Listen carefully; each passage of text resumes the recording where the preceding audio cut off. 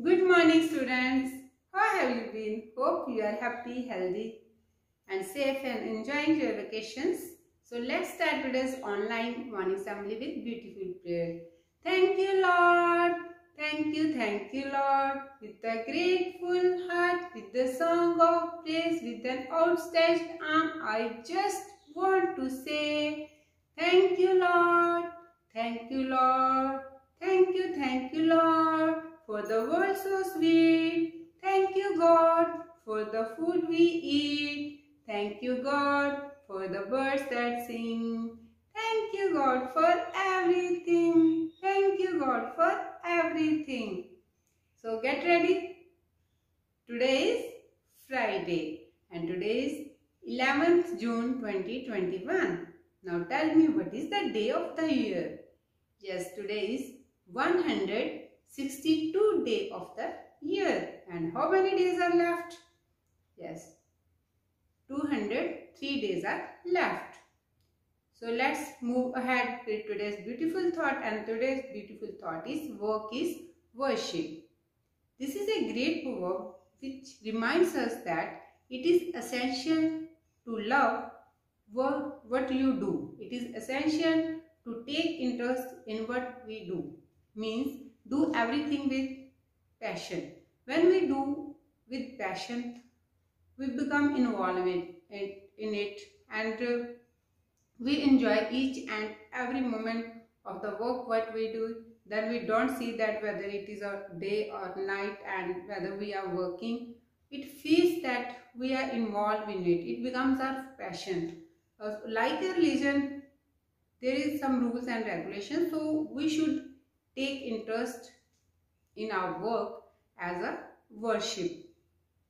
As we do worship in the morning and evening on the fixed time, same we should love our work with passion. So let's move with today's question answer. And today's first question is Who was the mother of Shri Guru Arjan Dev Ji? As she was Bibi Bhani And second question when was existing Punjab formed? It is on November 1st, 1966. Now tell me, who designed our national flag? This is Pingali Venkaiah.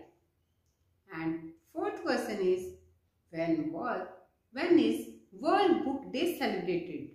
So World Book Day celebrated on 23rd April every year. And last question is which is the natural satellite of the earth? It is moon. Yes.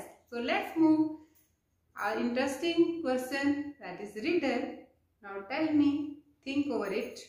Which is lighter than air but could not be lifted by the world's strongest man? What it is? It is a water bubble. Okay.